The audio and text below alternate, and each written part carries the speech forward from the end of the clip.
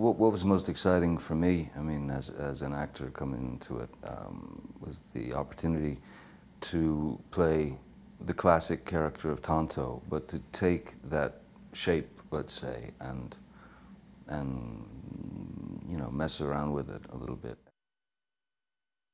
And with Gore Verbinski at the helm, and Jerry certainly, you know, uh, guiding us through, you know, in his own inimitable, you know, brilliant way. Um, it is it is a sort of rock and roll version of of the Lone Ranger. It's very fast paced. Um, it's it's you know it's high velocity. You know like uh, and uh, it's also quite funny. You know there's a lot of funny there's a lot of funny uh, stuff in it. He's been a gas. I mean he's he's he's been a lot of fun to play. Uh, he definitely looks at things very differently.